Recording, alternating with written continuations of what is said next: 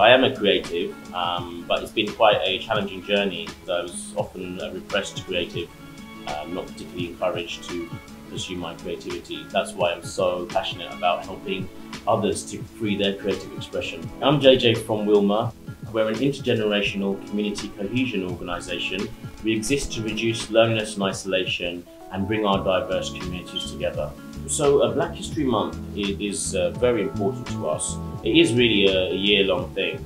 So this project that we're doing is uh, quite soon after our very successful Windrush 75 project, which um, the council kindly supported us with.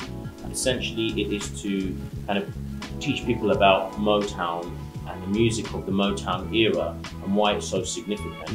What they managed to achieve through music um, was something that can't be achieved through other ways. So we know as a charity, music is su such a powerful way to bring people together and to communicate because your mind might be saying no to something, but your music and your ears and your foot tapping away will say something else. So music can really draw you in. Music is a very powerful way of bringing communities together, we believe.